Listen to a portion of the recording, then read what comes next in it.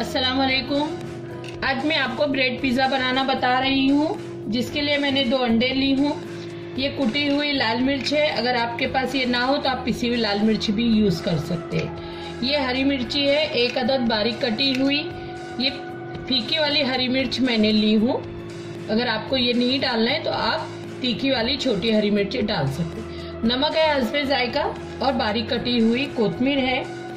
और ये मैंने ब्रेड स्लाइस ली हूँ, पाँच अदद। और ये चीज़ है, चीज़ आपकी मर्ज़ी है, अगर आपको डालना है तो डालें, नहीं डालना है तो कोई बात नहीं है। चले, अब हम बनाना शुरू करते हैं। सबसे पहले हम ब्रेड को इस तरीके से उसके किनारे निकाल देंगे।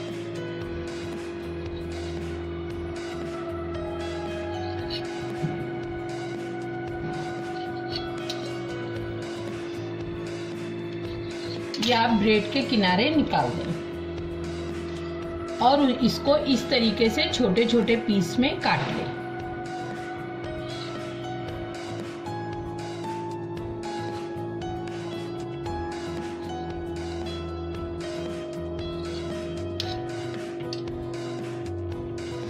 ये देखिए इस तरीके से आपने इसको छोटे छोटे पीस काट लिए।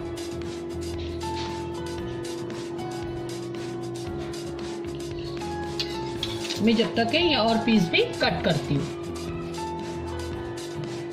ये देखें, ये जो दो अंडे हैं, उसमें से अंडे की जो हम जर्दी है, वो अलग कर देंगे और सफेदी अलग कर देंगे।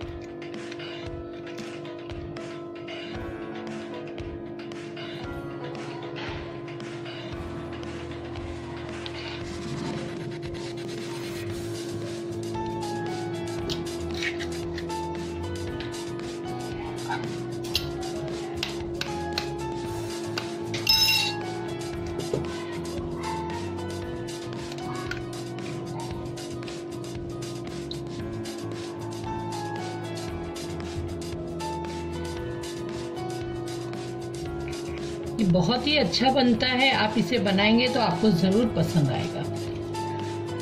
देखिए, आपने इस तरीके से इसको अलग कर दिया। अब जो है तो आपने क्या करना है, आप इससे भी इसको बीट कर सकते हैं, मगर ये टाइम ज़्यादा लेगा। मैंने इसके लिए बीटर ली हूँ, आपको मैं बीटर से करके बताती हूँ।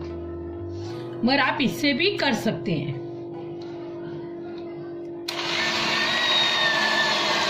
ये देखिए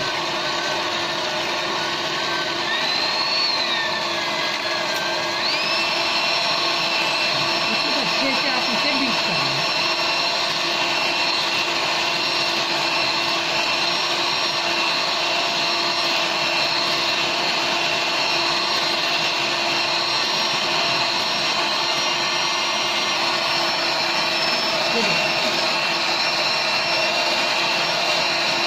ये आपने इस तरीके से फिर अच्छा इसको बीट करना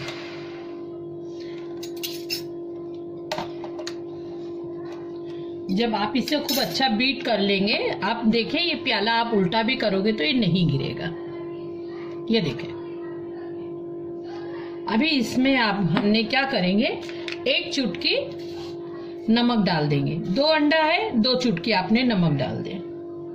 और ये जो हमने जर्दी रखे थे अलग से, इसको थोड़ा सा पहले आप बीट कर लें और वो जर्दी को इसमें मिक्स कर दें।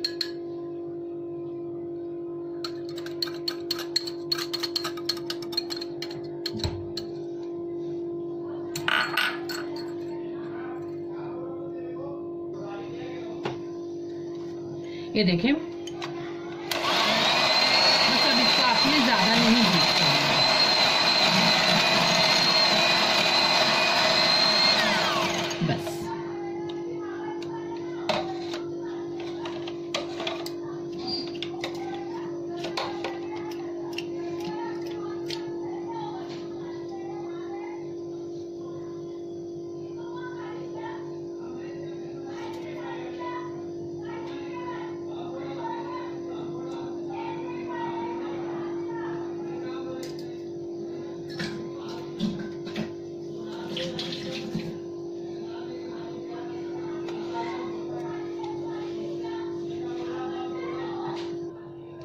ये देखिए, हमारा फ्राई पैन खूब अच्छा गर्म हो गया है।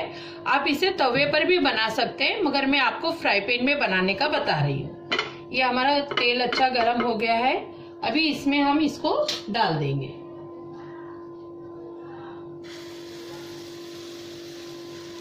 डालकर इसे आप थोड़ा सा फैला दें अच्छे से।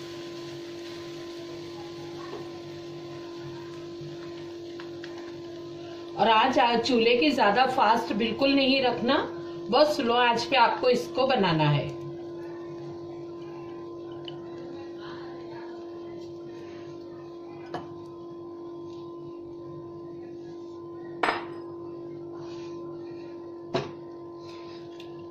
अभी इसके ऊपर आपने कुटी हुई लाल मिर्च थोड़ा सा स्प्रिंकल कर दें।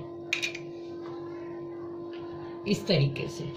और जो हमने ब्रेड के टुकड़े कट किए थे, उसको हम इसके ऊपर इस तरीके से डाल देंगे। इसके ऊपर इस तरीके से आप इसको डाल दें। ज़्यादा मत डालिए। अगर जो चिपक गए, वो ठीक है। जो नहीं चिपकेंगे, कोई बात नहीं। आप इस तरीके से उसको डाल दें। डालने के बाद में आप इसको इस तरीके से दबा दें, ताकि वो अच्छे से चिपक जाए। ये देखें। इस तरीके से आपने उसको चिपका दे। तो खूब अच्छे से चिपक जाएँगे।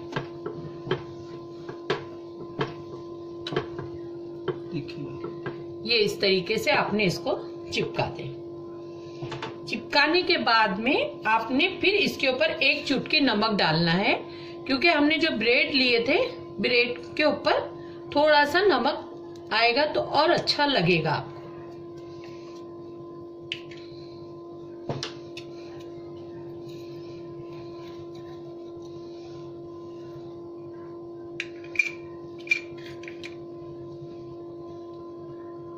बहुत धीमी आँच पे आपको बनाना है इसको। ये ब्रेड खूब अच्छे से इसमें चिपक गए।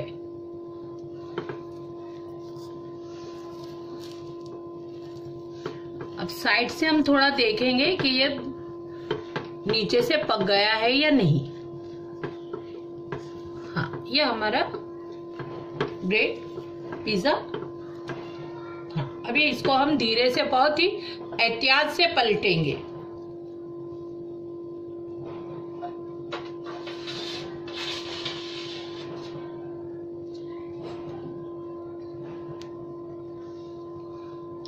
अपनी इसको इस तरीके से एक प्लेट लेंगे और प्लेट के ऊपर आपने इस तरीके से कपड़ा रख दे और इसको संभाल कर इस तरीके से पलट दे। ये देखें। अभी जो है तो इसको एक सेकंड के लिए आप साइड में रखेंगे। थोड़ा सा आपने तेल डाल दें। हरी मिर्च डाल दें। थोड़ी सी कुटी हुई लाल मिर्च डाल दें। थोड़ा सा कोरिएंडर डाल के इसको थोड़ा सा आपने टॉस कर लिया टॉस करने के बाद में ये जो हमारा आमलेट है, उसको हम इस तरीके से इसमें उतार देंगे। ये बिल्कुल आपका ब्रेड पिज्जा बोल दे या ब्रेड आमलेट पिज्जा बोल दे, ये तैयार है।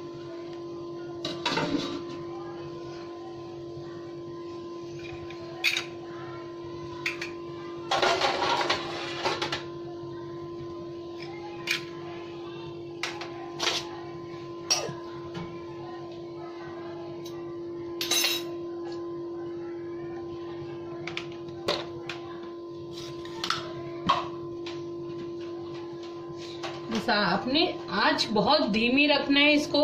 आँच तेज नहीं करना है।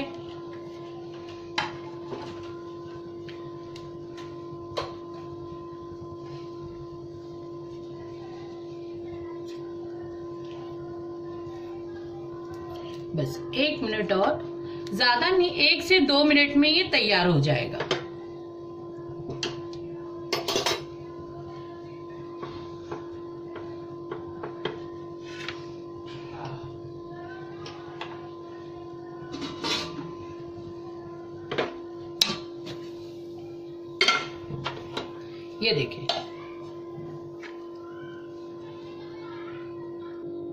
ये देखें, अभी इसके ऊपर आप इस तरीके से चीज़ डाल दें।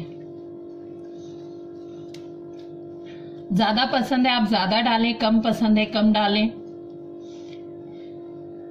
ये आपका ब्रेड पिज्जा ऑमलेट तैयार है।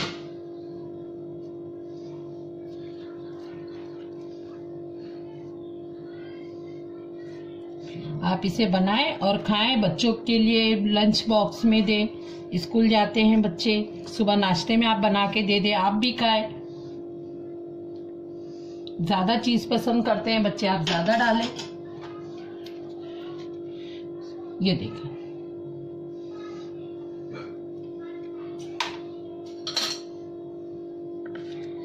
इसको आप इस तरीके से कट कर पिज्जा की तरह।